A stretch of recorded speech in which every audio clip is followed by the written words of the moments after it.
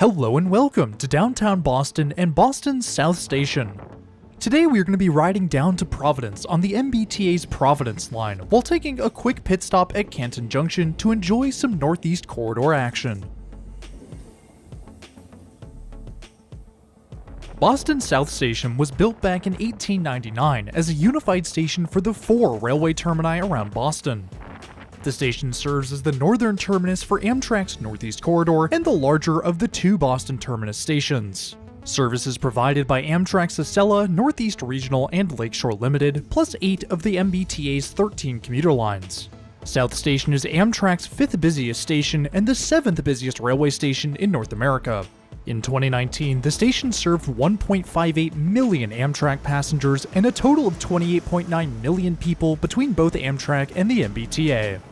The station building may be a sight to behold, but unfortunately, the inside has certainly seen better days.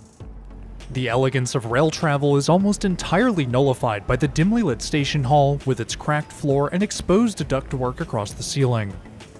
Definitely not the prettiest station on Amtrak's roster, it may have been better if the hall was entirely open, but the way it's set up now feels clustered and haphazardly thrown together, with restaurant stalls every 50 feet. Following the signs around the outer wall, we find the MBTA ticketing office and a few ticket machines. Our ride down to Providence this morning will be a split ride, so we'll purchase a ticket as far as Canton Junction now, and then pick up another later when we continue on to Providence. Tickets between Boston and Providence cost $12.25 for a full ride, while our split journey will cost $8 for the first leg and $5.25 for the second, for a grand total of $13.25, $1 more than a full ride. Ticket in hand, we can head out to the departure board in the center of the station. Our first train of the day will be Stoughton Line Train 873 with an estimated departure time of 12.05 p.m. At around 11.55, the display updated, moving our train to the second spot on the board, informing us that we will be departing on track 1. Stepping out onto the platforms, we're met with a ton of construction noise. The space beyond the main building is currently undergoing a major remodel. The South Station bus terminal is expanding out over the north end of the platforms, while a massive tower is being built over the empty concrete between the station building and tracks. Waiting for us on track 1 is our Stoughton Line train. The Stoughton Line is a branch service of the Providence Line, running the same route as far as Canton Junction before breaking off towards Stoughton. Walking towards the front of the train, we find the only open door and can climb aboard. I wish that the MBTA would open more doors for boarding, but it does help keep passengers in one or two cars, which makes it easier for the conductor to check tickets and keep an eye on everything. Normally on bi-level coaches, I sit upstairs, but I figured I would change it up a bit and headed downstairs to find a seat. MBTA's bi-level fleet includes plenty of bench seating in a 2x3 arrangement, with two tables in the center of each level for larger groups. The table seats allow around 4 inches between my knees and the table, with ample space between the two rows to stretch out or accommodate passengers sitting across from one another. The table is tapered towards the aisle, which makes it easier to get in and out of the rows.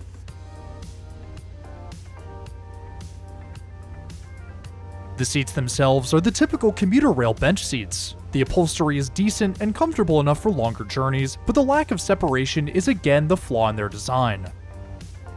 Luggage racks are available on each side of the train, although the rack on the 3 side of the train is quite difficult to reach from the aisle. Departure from South Station is right on time, with our train rolling onto the beginning of the Northeast Corridor.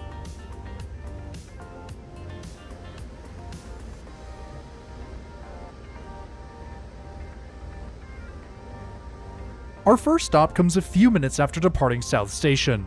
Boston Back Bay is the third major station serving the Boston metro area. It's a little weird sitting on the lower level of these bi-level coaches, as the platform ends up being right at eye level. We picked up a few passengers and carried on. Leaving the Boston metro area behind, we pick up speed down the corridor.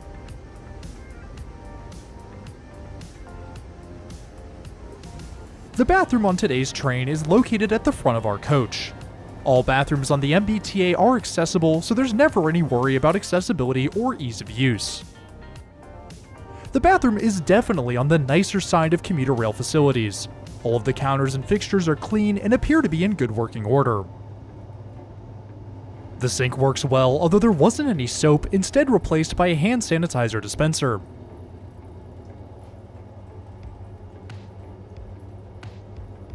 Paper towels were full, although they were a bit stuck in the dispenser, with two full rolls of toilet paper below.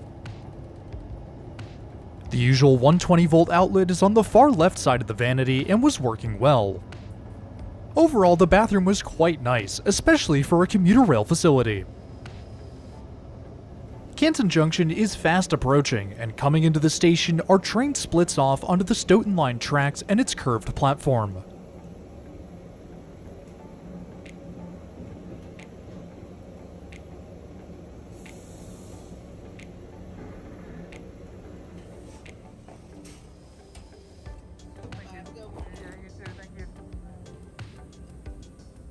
Only a few people get off the train here, and Stoughton Line Train 873 continues on down the line.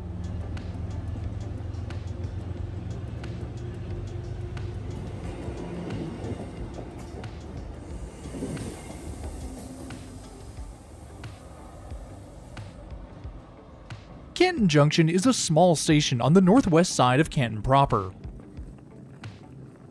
Station facilities are limited but do include a nice station building with a coffee shop inside.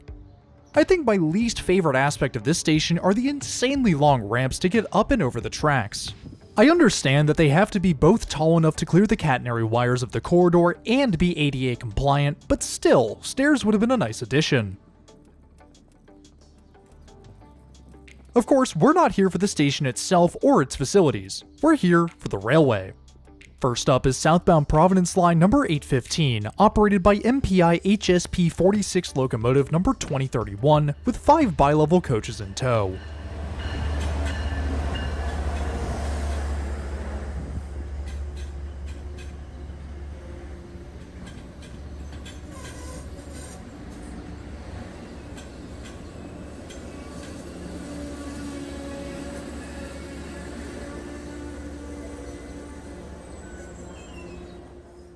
It's a quick stop before the mighty diesel powers up and out of Canton Junction.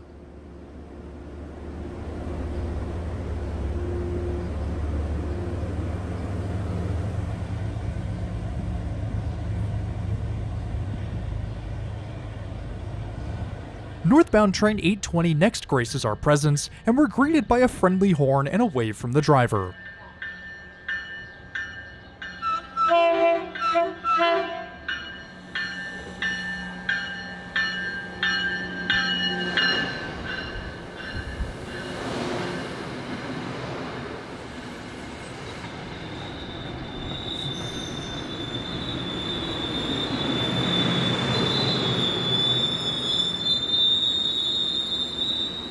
Train 820 is running a combination of bi-levels and Comet coaches today, with Locomotive 2004 on the rear.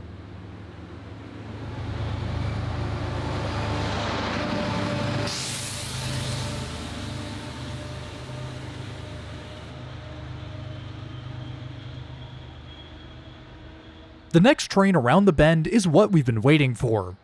Northbound Acela 2152 makes her way up the corridor, flying past at close to 100 miles an hour.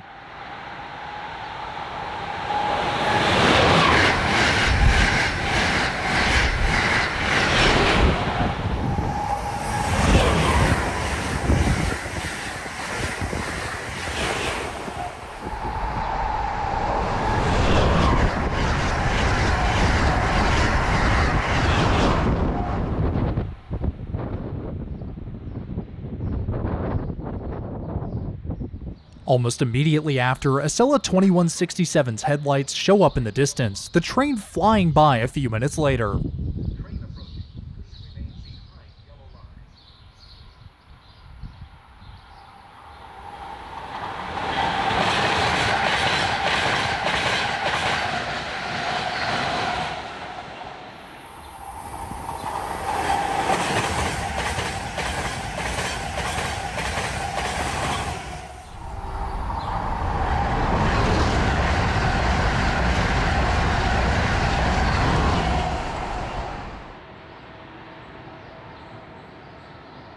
With the return of our outbound train on the Stoughton Line tracks, it's time to head over to the southbound platform to continue our ride to Providence. We do get one last arrival before we leave. Train 875 crosses onto the northbound track just before the Spalding Street Bridge before switching onto the Stoughton branch line.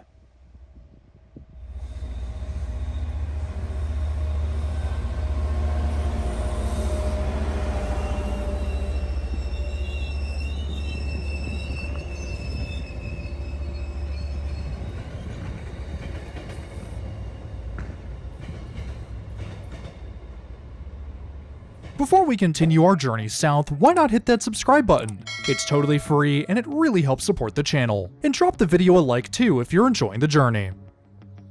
Train 817 is our ride down to Providence. Led by MPI HSP 46 number 2012, 817 pulls into Canton Junction about a minute behind schedule. The rear door on the last single level coach slides open and we can climb aboard. Getting seated, our train pulls away from Canton Junction, continuing our ride down south.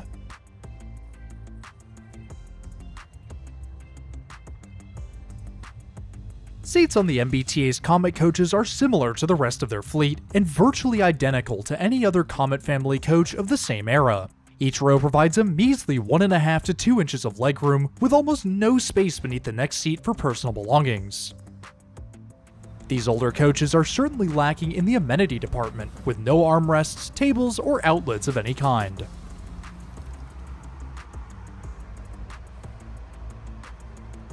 Above each side of the train, passengers will find the usual luggage racks and coat hooks. Overall, pretty standard commuter rail stuff.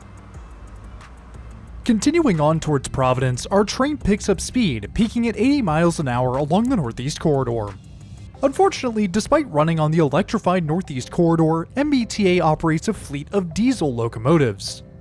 Most of the MBTA's commuter lines do not include electrification, and as such, their fleet has to accommodate. But things are finally beginning to change, and potentially for the better. In 2021, the MBTA began planning the use of electric multiple units on Providence Line trains, with an estimated in-service date of 2024. This would be followed by the electrification of the Fairmount line and the inner portion of the Newburyport Rockport line in the late 2020s. Plans shifted again in 2022, with the MBTA now indicating their interest in battery electric multiple units instead of full EMUs. This would reduce the length of overhead catenary installation required across the network, avoid reconstruction of overhead bridges, and remove electrical load from poor existing power grids on branch lines. A pilot electric service on the Providence line is expected to begin sometime in 2024 with leased Amtrak ACS 64 locomotives. Full service is expected sometime between 2028 and 29, with the final goal being full electrification by 2050. Despite the long timeline, it's still a massive step forward for regional rail in and around Boston, and hopefully everything moves forward in the coming years. MBTA's Providence layover facility is the first sign that we're reaching our destination, our train slowing for its final stretch into Rhode Island's state capital.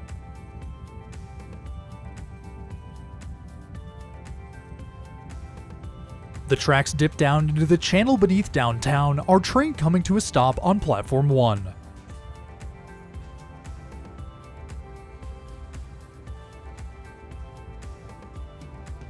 Grabbing our belongings, we can make our way off the train and out into Providence.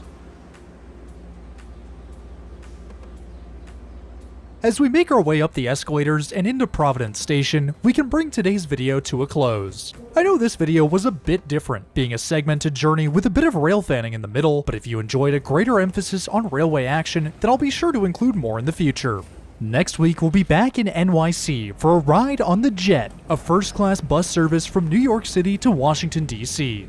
And when I say first class, I mean first class. This service is truly something special, so be sure to stick around for when that goes live. Also this Wednesday, we'll hop back over to the Netherlands for a quick ride on one of NS's VIRMs from Ede Wageningen to Arnhem. If you're new around here, then why not hit that subscribe button? It's totally free and it really helps support the channel. As always, I want to give a huge shout out and thank you to my patrons and channel members. If you too want your name in the video or just want to support the channel in more ways than one, then head on over to the links in the description below. But anyways, that's all I have for today. Thanks for riding with me, and I'll see you in the next one.